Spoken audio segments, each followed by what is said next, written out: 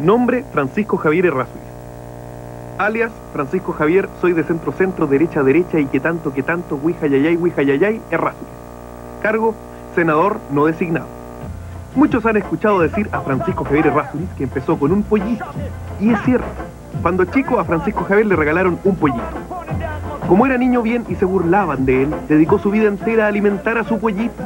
El pollo creció, creció y creció hasta que se convirtió en la versión pollo de King Kong. Francisco Javier salía a todas partes con él y amenazaba a la gente con su pollo si no le pagaban jugosos peajes. Pronto se hizo millonario. Esta hermosa amistad entre niño y pollo le produjo pingües beneficios. Pero cuando Frafra quiso hacerse candidato a presidente, el pollo votó por Vista, por abusador, le dijo a Frafra. Francisco Javier, aunque dolido, siguió solo su camino. Creó su propio partido, la Unión de Centro Centro, pero se sentía solo y echando de menos a su pollo. Hasta que llegó Ángela Vivanco, que si bien no era pollo, era pimpollo.